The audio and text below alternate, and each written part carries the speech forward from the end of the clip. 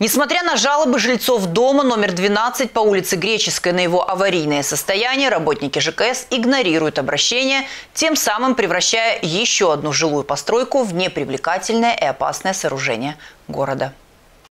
Восхищаться архитектурой внешних фасадов жилых домов в центре Одессы можно бесконечно. И, к сожалению, даже если здание разрушается, некоторая часть людей все равно восторгается его архитектурой. Вернее, тем, что от нее осталось. И даже фотографируется на фоне этого здания. Дом номер 12 по улице Греческой не исключение. Зайдя во двор, можно видеть архитектурную идею в деталях. Вот как эти старинные деревянные двери. Но уж много работ накопилось, которые десятилетиями не выполняются выполнялись коммунальщиками, и сейчас дом подлежит капитальному ремонту.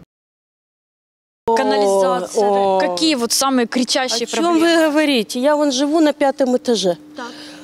Вот если бы мы писали, короче говоря, нам покрасили вот этот, то, что дом покрасили, само собой. Внешний А, фасад. Да, внешний фасад. И вот это вот арочку с той стороны покрасили. Я их умоляла, писали. Не, не писали, просто пришла и сказала, нам надо покрасить вот ту стенку. Я хочу, чтобы вы подошли с улицы, посмотрели вот на ту стенку. На пятом этаже все течет. Они вот там железо не поменяли. Как бы они везде поменяли там по фасаду. А вот эту стенку они мне ответили. Оно не зашло в бюджет. Несколько дней назад жильцы дома написали обращение на сайт 1535 с просьбой устранить провал, который образовался на дороге во дворе. Ведь, по словам жильцов, размер провала увеличивается. Там со временем э, мы лет 10, наверное, пробивали э, канализацию, там, ну, и сток был.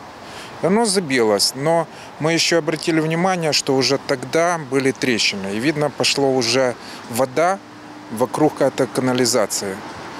И оно э, под, э, э, подмыло воду, это, землю. Получается, образовалось... Мы уже два раза засыпали, но оно со, э, со временем опять подмывает и образовалась уже яма. То есть уже ясно, что просто засыпанием оно ну, не поможет, надо более какие-то конкретные делать работы. Мы сделали даже водосток еще дополнительный, потому что э, когда э, были ливни, вся вода уходила под садик детский.